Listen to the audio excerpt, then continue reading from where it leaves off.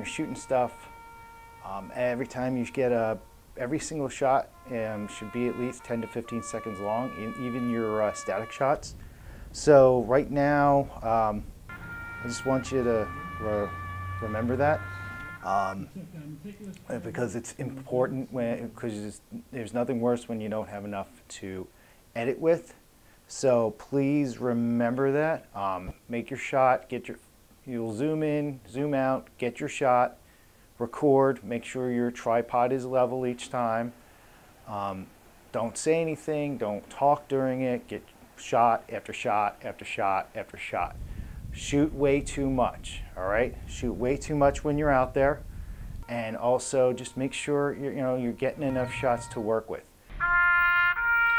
Natural sound is important, so it, it helps when there's a lot of stuff going on, a lot of noises going on, depending on what you're doing.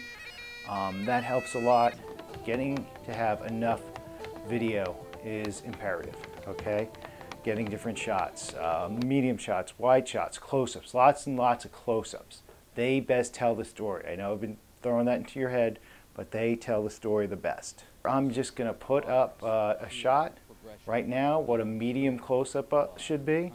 Uh, for all your interviews, yes, there are other shots that you can use, but I want you to always use the medium close-up for any interview shot.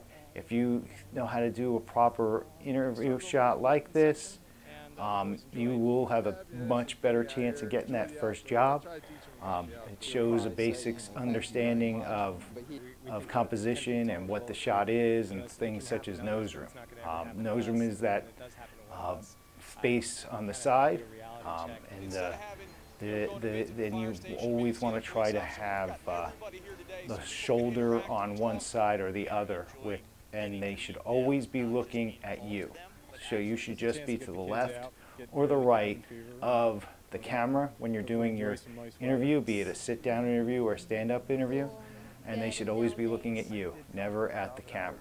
Okay, and one of the first things you tell them is, uh, just look at me, camera's not here, okay?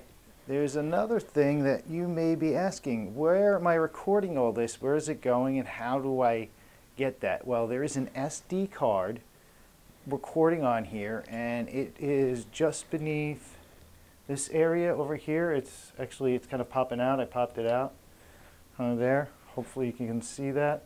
But it's in here, you just kind of like pop it in, it pops in. To take it out, just kind of pop out like that and it slides out. Okay, you may be asking, what is that thing in Neill's hand? Well, this is the adapter. All right, this is the adapter that you need to be able to take the SD card and import it into the computer. Now in the back of the computer in our lab we have what are called C drive inputs.